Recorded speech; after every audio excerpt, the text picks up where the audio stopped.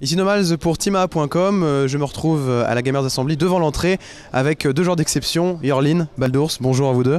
Salut, salut. Salut. Alors, les Good Games euh, à Counter-Strike 1.6, vous êtes actuellement dans la deuxième phase de poule. Il vous reste un seul match, c'est contre Hostile Records. Comment vous le sentez? Bah, on a envie de gagner, quoi, c'est clair, parce que bon, on a une revanche à prendre.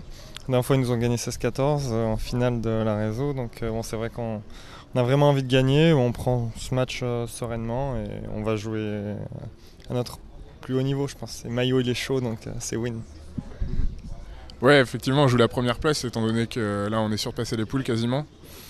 Donc euh, le fait de passer le premier, ça nous ferait jouer contre un potentiellement plus faible adversaire, donc autant finir premier.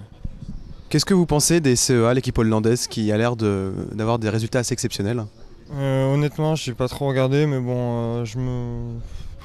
on va dire que euh, digital, bah, DM c'était pareil, il roulait un peu sur tout le monde en poule et bon voilà quoi, ils jouent peut-être vraiment tous les matchs à fond.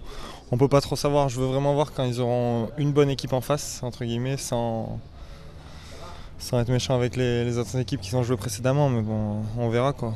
Contre des bons adversaires, on verra ce qui se passe. Voilà.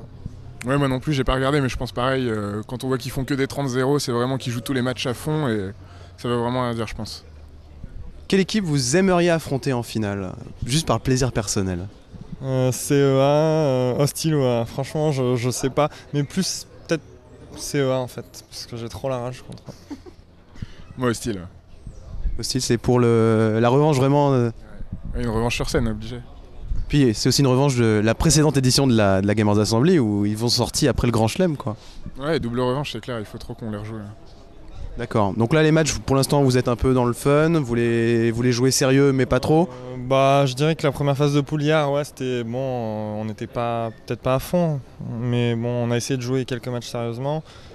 Là, le match de hier soir et le match de ce matin, on a vraiment essayé de se mettre dans la compétition, quoi. Vraiment euh, jouer sérieux. Euh, pas essayer de pas trop faire d'erreurs, bien communiquer et bah voilà quoi.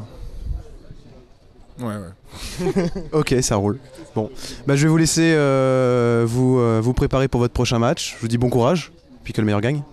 Ouais, exact, que le meilleur gagne. Voilà, nous on va se retrouver dans une prochaine vidéo. À tout à l'heure.